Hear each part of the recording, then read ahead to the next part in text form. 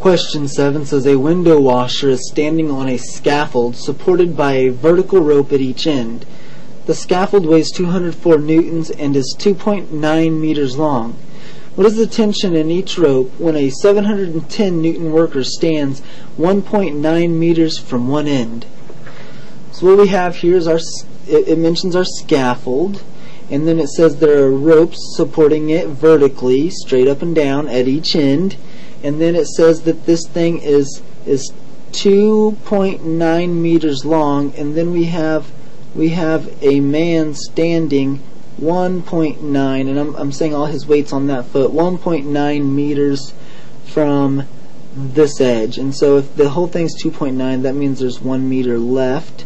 So that's 1 meter. 1 plus 1.9 equals 2.9.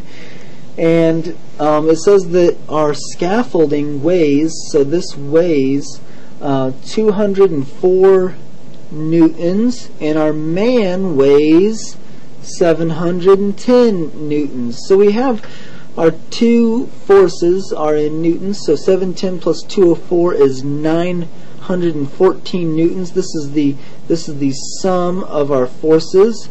And so we can say that that the force pushing down on uh, for instance on this end right here would be so if we took the uh, this would be of course we're saying it since he's standing right here um, there's going to be less force on this one. So the, the, the smaller force, we'll call this the smaller force over the sum of the forces, is going to equal the larger torque, I'm sorry, the smaller torque over the sum of the torques. Now I think one mistake that can be made is that we would say that oh this number right here is the smaller force and that's not the case um, this is just part of the total force. We, we can think of it as just being part of the total force.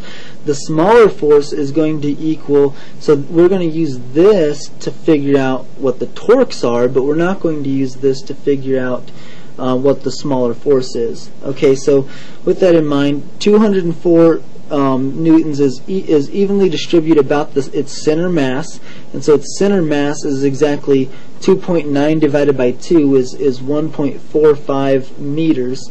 Uh, so 1.45 meters times times 204 plus so this will this will work whenever we're calculating the torque on this side and the torque on this side so um, we can add, we can keep that and we can add that to the torque of this guy. So if we say that he is standing at the one meter mark, then we don't have to, all we have to do is 1 meter times 710. All we have to do is add 710 to find the torque on this side.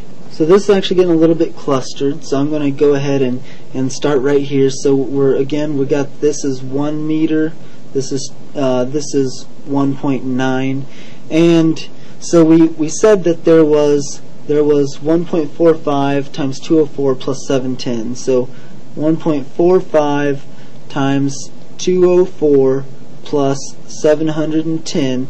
This is going to be the torque about this axis right here. So this is going to equal 1005.8. So this is, we'll call this T1.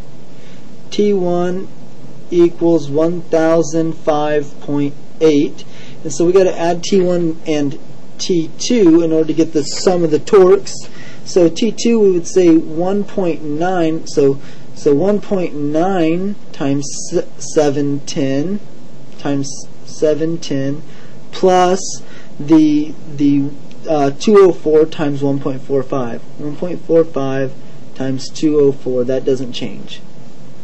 That equals 1,715 and so this was T2 equals 1,715 um, Newton meters and so we can we can set up our equation as uh, T1 over T1 plus T2 or we could say 1005 1005 and I'm going to round a lot here uh, 1715. So 1715 plus 1005. I'm going to simplify that.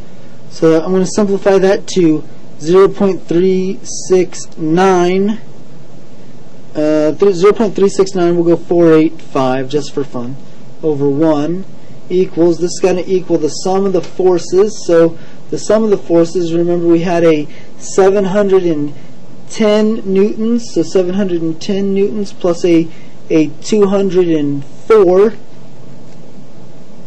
and this is we'll say this is the smaller force. So this actually simplifies to 914 and I I could write 914 and so we're going to multiply 914 onto this side to find out what the smaller force is. And so the smaller force is 337.71 newtons.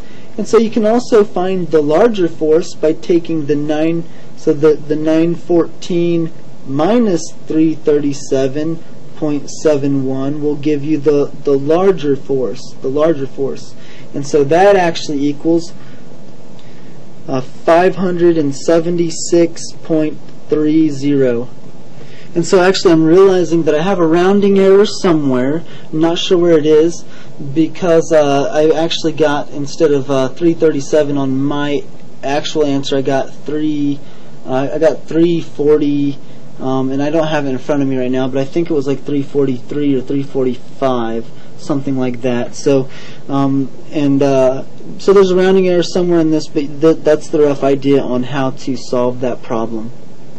And just so my rounding error doesn't confuse anybody, you're calculating the, the total torque, so you get you get a torque on one side that's equal to the center mass uh, or the the radius uh, of center mass times the mass uh, and you got to do that of the radius of center mass of 1 times the mass of 1 plus the radius uh, center mass of number 2 times the mass of number 2. You got to do that for every object. You have to take count for all the objects to get the, the torque on one side. Then you got to do the um, do all of that again, except you got to measure your radiuses from the other side, and so you get T1 and T2, and then you can do T1 over T1 plus T2 equals force 1 plus force 2 and usually this is going to be flipped but it depends on how you how you're uh, describing how you're labeling your forces. Uh, so the torque the torque on this hinge right here is going to allow the lever bar to push down on this hinge over here. And so the, if we're calling this the torque on this one, T1, and the force on this one, F2, this equation is the one you want.